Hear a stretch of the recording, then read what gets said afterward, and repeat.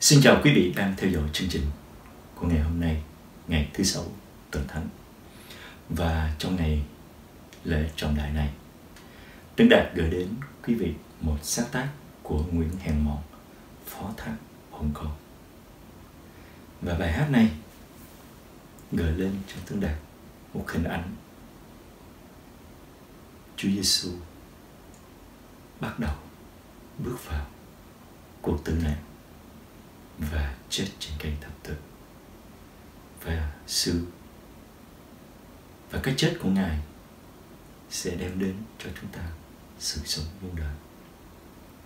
Lạy chúa, con xin phó thác hồn con trong tay chúa. Nhưng đừng theo ý con, nhưng xin vâng theo ý của ngài. Xin mời quý vị hãy cùng lắng nghe.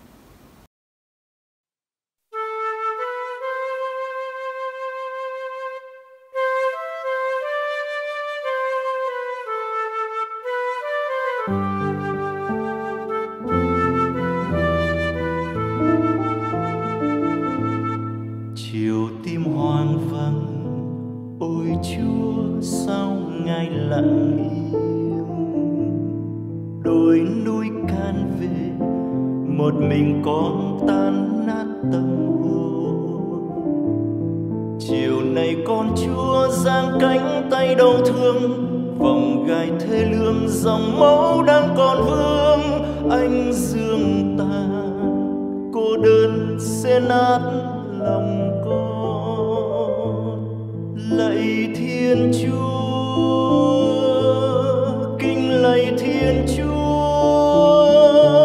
sao chúa nỡ đành bỏ mặc con nguyện chúa bên con?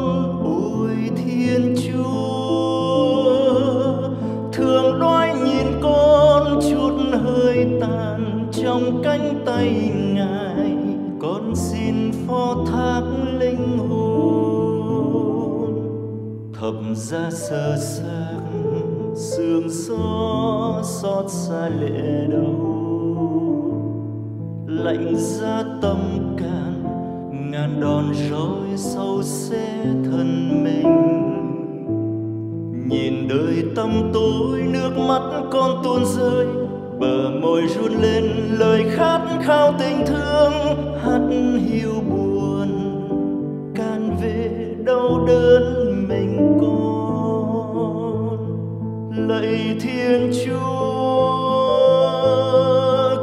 Lời thiên chúa sao chúa nỡ đành bỏ mặc con, nguyện chúa bên con. Ôi thiên chúa, thường đói nhìn con, chút hơi tàn trong cánh tay ngài. Con xin phó thác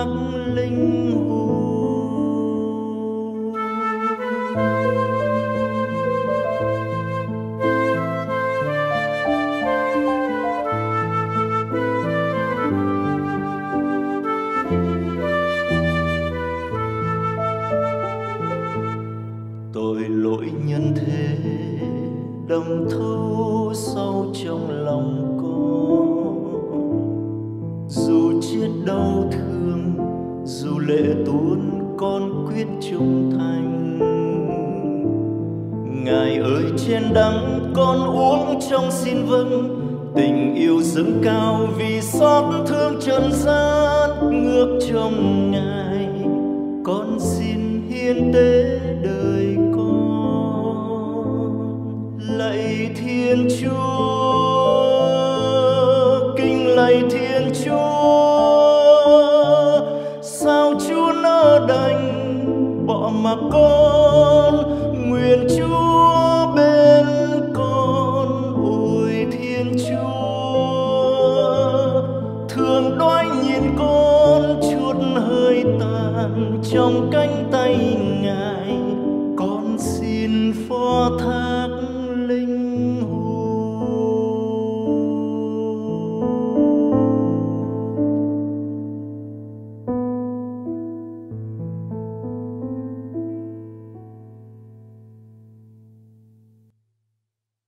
Cảm ơn quý vị đã lắng nghe nhạc phẩm Phó thác hồn con sáng tác Nguyễn Hèn Mộng. Tương Đào xin chào quý vị.